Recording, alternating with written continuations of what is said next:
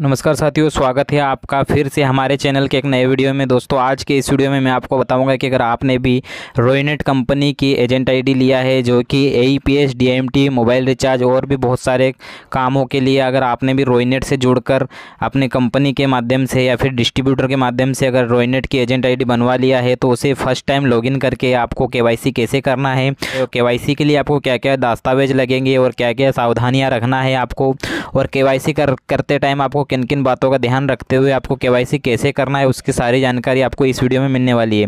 तो आपसे छोटी सी रिक्वेस्ट है कि आप वीडियो को बिना स्किप किए एंड तक पूरा ज़रूर देखें और साथ ही रोइनेट की केवाईसी कैसे करेंगे, एजेंट फ़र्स्ट टाइम लॉगिन करके तो आप उसकी प्रोसेस को ज़रूर समझिए तो चलिए बिना टाइम गवाए वीडियो कर लेते स्टार्ट और वीडियो को स्टार्ट करने से पहले आपसे छोटी सी रिक्वेस्ट, अगर आप हमारे चैनल पर पहली बार आए हैं या फिर कहीं बार आ चुके हैं तो आप हमारे चैनल को प्लीज़ सब्सक्राइब वाले बटन पर क्लिक करके सब्सक्राइब ज़रूर कर ले और साथ ही बेल आइकन पर प्रेस करके नोटिफिकेशन को ऑन कर ले, क्योंकि हम लाते हैं हमारे चैनल पर इसी प्रकार सीएससी और डिजिटल सर्विस से रिलेटेड सारी इन्फॉर्मेशन तो चलिए शुरू करते हैं। आइए दोस्तों फाइनली हम आ चुके हैं हमारे मोबाइल के स्क्रीन पर। यहाँ से आपको सिंपल सा अपना एक प्ले स्टोर ओपन कर लेना है।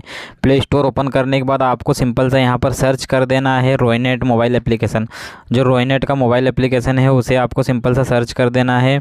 और उसको इंस्टॉल कर लेना है। तो इस टाइप से आपको सर्च कर लेना है और सर्च करने तो यहाँ पर आप देख सकते हैं रोइनेट का जो मोबाइल एप्लीकेशन है, वो यहाँ पर देख सकते हैं एक्सप्रेसो एक्सप्रेसो के नाम से ये रहता है।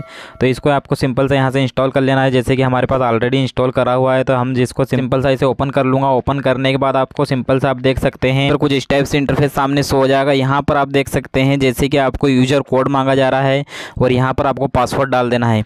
यूज़र कोड अब आपको कहाँ पर मिलेगा तो मैं आपको यहाँ पर बता दूँगा कि आपने अपने डिस्ट्रीब्यूटर को आईडी एजेंट रजिस्ट्रेशन करवाते टाइम जो ईमेल आईडी दिया था, उस पर आपको एक रजिस्टर कोड मिल जाता है, या फिर आपने अगर अपना रजिस्टर मोबाइल नंबर दिया था तो उस पर भी आपको एक यूज़र कोड मिल जाता है।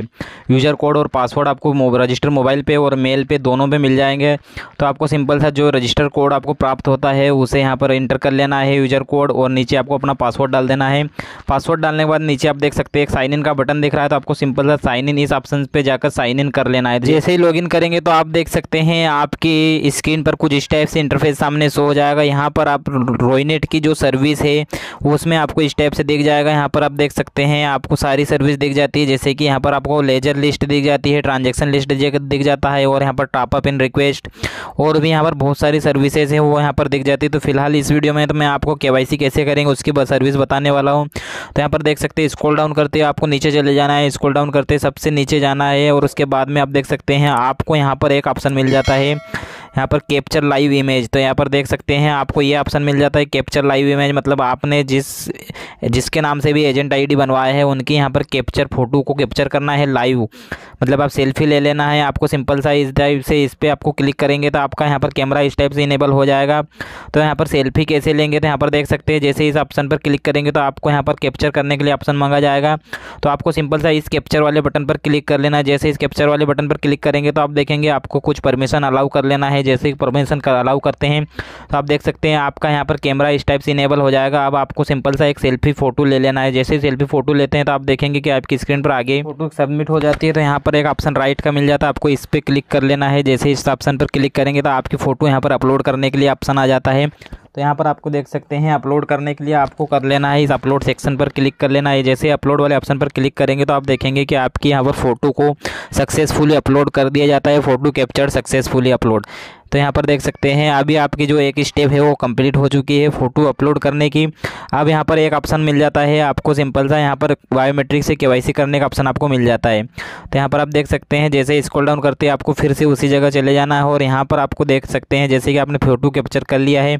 अभी आपको नीचे ऑप्शन मिल जाता है के वेरिफिकेशन के वेरिफिकेशन के लिए आप देख सकते हैं, आपको यहाँ पर थम प्रेसन करना है अपनी अपनी बायोमेट्रिक डिवाइस को रेडी कर लेना है। जिस डिवाइस को आप यूज़ करते हैं अपने मोबाइल में, उसके आर सर्विस के मोबाइल मोबाइल एप्लीकेशन को इंस्टॉल कर लेना है, जैसे मंत्रा हो, मार्फो हो या स्टारटेक हो, कोई भी डिवाइस हो, आपको सिंपल सा रेडी कर लेना है। और आप देख सकते हैं, आपको थम विप्रेशन के लिए इस जगह पर क्लिक कर लेना है। यहाँ पर बायोमेट्रिक से आपका केवाईसी कैप्चर होगा। यहाँ पर देख सकते हैं थम विप्रेशन के लिए आपको यहाँ पर क्लिक करना है। जैसे यहाँ पर क्लिक करेंगे तो आप देखेंगे कि आपकी स्क्रीन पर कुछ स्टेप से रजिस्टर मोबाइल पर एक ओ सेंड किया जाएगा। उस ओटीपी को आपको यहाँ पर इंटर कर लेना है। ओ इंटर करने के बाद आप देख सकते हैं, आपको एक ओटीपी वेरीफाई का ऑप्शन दिख जाता है। तो अब आपको सिंपल सा ओ इंटर करने के बाद यहाँ पर आपको ओटीपी को वेरीफाई कर लेना है। वेरीफाई करेंगे तो आप देखेंगे कि आपकी स्क्रीन पर कुछ स्टेप से ओटीपी वेरीफाई हो जाएगा और यहाँ पर देख सकते हैं आपको ओ टी वैलिडेट कर दिया गया है। अभी आपको क्लोज कर लेना है। उसके बाद में आप देख सकते हैं आपको थम इम्प्रेशन के लिए यहाँ पर डिवाइस मिल जाती है। डिवाइस अपनी सिलेक्ट कर लेना है। आपके पास जो भी जो भी डिवाइस है उसको यहाँ पर सिलेक्ट कर लेना है। उसके पहले आपको सिंपल सा अपने प्ले स्टोर से जो डिवाइस यूज़ करते हैं उसके ड्राइवर को इंस्टॉल कर लेना है। बायोमेट्रिक ड्राइवर को। अभी आपको सिंपल सा स्कैन करने के लिए आपको सिंपल इस बटन पर क्लिक कर लेना है। जैसे ही इस ऑप्शन पर क्लिक करेंगे तो आप देखेंगे कि आपकी स्क्रीन पर आगे कुछ स्टेप से इंटरफेस सामने से हो जाएगा। यहाँ पर आपकी डिवाइस रेडी होगी तो आपको यहाँ पर कैप्चर मांगा जाएगा। तो यहाँ पर देख सकते हैं जैसे ही स्कैन वाले ऑप्शन पर क्लिक करेंगे तो आपके डिवाइस का यहाँ पर रेड लाइन जो ब्लिंक कर दिया जाएगा, अभी आपको यहाँ पर कैप सिंबल सा फिंगर को कैप्चर कर लेना है। फिंगर कैप्चर करने के बाद आप देख सकते हैं, आपको एक ऑप्शन मिल जाता है सबमिट का, इस सबमिट वाले बटन पर आपको क्लिक कर लेना है। तो जैसे सबमिट वाले बटन पर क्लिक करेंगे तो आप देखेंगे, आपको यहाँ पर बोला जा रहा है are you sure to continue तो कंटिन्यू वाले ऑप्शन डन ऑप्शन पर क्लिक कर लेना है। जैसे डन वाले ऑप्शन पर क्लिक करेंगे तो आप देख सकते हैं, आपकी स्क्रीन पर कुछ स्टेप से इंटरफेस सामने से हो जाएगा। यहाँ पर आपको देख सकते हैं, आपको K Y C has been complete successfully इसका एस एम एस भी आपको मिल जाता है स्क्रीन पर, आप देखेंगे आपके जो रजिस्टर मोबाइल है, उस पर एक एस एम एस आता है, उसमें लिखा रहता है आपका डियर डियर आपका नाम लिखा रहेगा, उसके बाद में you have successfully onboarding on Yes bank तो ये जो के वाई है, वो येस बैंक की ए पी सर्विस के लिए एक्टिवेट करने के लिए ये के वाई सी करना पड़ता है आपको। जैसे आप नई आईडी लेते हैं रॉयनेट की तो आपको के वाई सी करना पड़ता है तो यहाँ पर आप देख सकते हैं, आप वापस से आप जैसे इस ऑप्शन पर जाएँगे तो यहाँ पर आपको जैसे आप फ़ोटो वाले ऑप्शन पर क्लिक करेंगे तो आपको क्या शो होगा तो यहाँ पर देख सकते हैं फ़ोटो वाले ऑप्शन पर क्लिक करेंगे तो आपने जो फ़ोटो कैप्चर किया था वो स्क्रीन पर दिख जाएगी आपको। उसके बाद में आपको बैक हो जाना है। बैक होने के बाद आप सिंपल सा इससे के वाले ऑप्शन पर क्लिक करेंगे। के वेरिफिकेशन के लिए इस ऑप्शन पर आप क्लिक करेंगे तो आप देखेंगे कि आपकी के ऑलरेडी यहाँ पर डन हो चुकी है तो यहाँ पर देख सकते हैं, आपको सक्सेस का एसएमएस मिल जाएगा। स्क्रीन पर। तो इस टाइप से आप के कर लेंगे, बड़ी आसानी से घर बैठे अपने मोबाइल एप्लीकेशन से। तो इस टाइप से आप नई आईडी को कैसे एक्टिवेट करेंगे, उसकी एटीट्यूड जानकारी मैंने इस वीडियो में आपको दे दिया है। तो आशा करते हैं कि ये वीडियो देखकर आप भी अपनी के को कंप्लीट कर सकते हैं मोबाइल एप्लीकेशन से।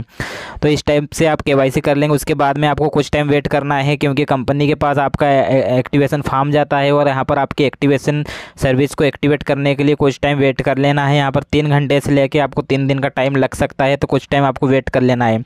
उसके बाद में आपकी जो ए सर्विस है या सारी सर्विस आपकी एक्टिवेट कर दी जाएगी। तो इस टाइप से आप भी अपनी केवाईसी को संपूर्ण कर लें। तो आशा करते हैं ये वीडियो देखकर आप भी अपनी केवाईसी को बड़ी आसानी से घर बैठे रजिस्टर कर लेंगे। तो फ़िलहाल आज की इस वीडियो में इतना ही। मिलते हैं अगले किसी वीडियो में। जब तक के लिए जय हिंद, वंदे मातरम साथियों। वीडियो को पूरा देखने के लिए आपका बहुत बहुत धन्यवाद। ऐसे जुड़े रहेगा हमारे चैनल साथ और देखते रहेगा लाटेस्ट न्यू और डिजिटल सर्विस से रिलेटेड सारे वीडियोज़